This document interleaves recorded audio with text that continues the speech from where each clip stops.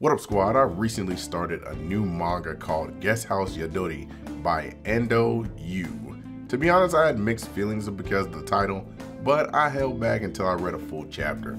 Speaking of, I got into chapter 1 right away the moment the MC woke up to this beautiful Gyaru lady teasing him. I mean, who wouldn't be jealous of getting woken up for breakfast by this bombshell? Mm, mm, mm, mm. The mommy milkers were on deck and I'm ready for the cake. Yeah. Like, you see that shit? Like, yeah, yeah, yeah. no, bro. That's only the initial part before we get a rewind of how this all came to be. So, the MC, who goes by Yoichi, returned to his dorm to find it was on fire. Like, it was literally just set ablaze by God who knows what. And he calls up his friend Itsuki for a place to stay. At first, Yoichi asks to stay at his place, but Itsuki doesn't want him cock blocking for when he got a girl over. So he sends him to his parents' house on the countryside. Yoichi arrives later in the chapter and meets this 34 year old landlady named Hana Yadori. We all know that she's busty. I mean, we saw that from like the first page of this series, as I showed you. But she is very playful in nature, so throwing him off his game is a given. She takes him on a tour of the place and finally tells him that she's done of Itsuki when Yoichi gets to his room, he gets a hold of Itsuki and flips out because of everything happening, like so fast. In short, Itsuki suggests the guest house because he knows his friend's taste in Gyaru women that are otakus. He gets sent a picture of a Gyaru gal that looks familiar, so Yoichi starts searching for Hana.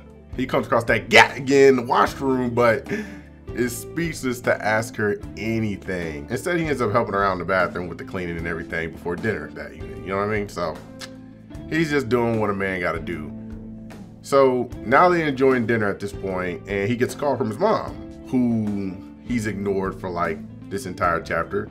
But Hana picks it up to explain the situation. His mom is relieved, and the reason Yoichi didn't want to answer is because he feels he didn't live up to his own parents' expectations during his high school days.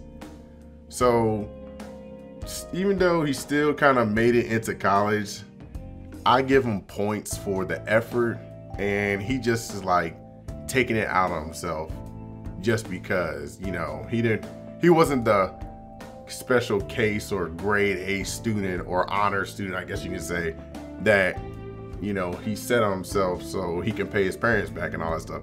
But he didn't have a bad relationship with his parents. So, you know, it is what it is.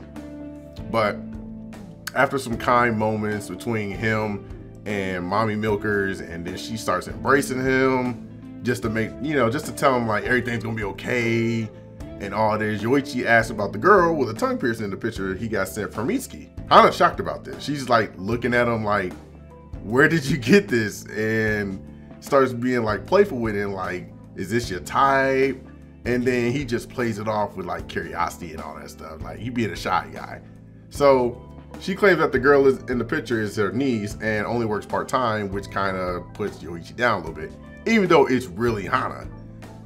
Uh, the chapter ends with Hana walking out the room and sticking out her pierced tongue at Yoichi from behind. So it tells you already that it's gonna be about Yoichi and Hana, just right there because she's the girl from the picture. I will say that this manga has potential of being something really, really, really good. Normally, I don't get recommended college setting mangas, but this one seems to be like right up my alley. First of all, it's Gyaru Gal older woman with mommy milkers, suggestive content, I mean, it can't get any better than that. It's got a high rating on MangaDex, which is where I read it as of now. For what it's worth, I suggest checking it out at your convenience, you know, whenever you get time. In any case, I hope you enjoyed the video enough where you hit the like button, drop your thoughts in the comments, subscribe if you haven't already, and follow on socials for updates. Until next time, stay wavy squad and yeah!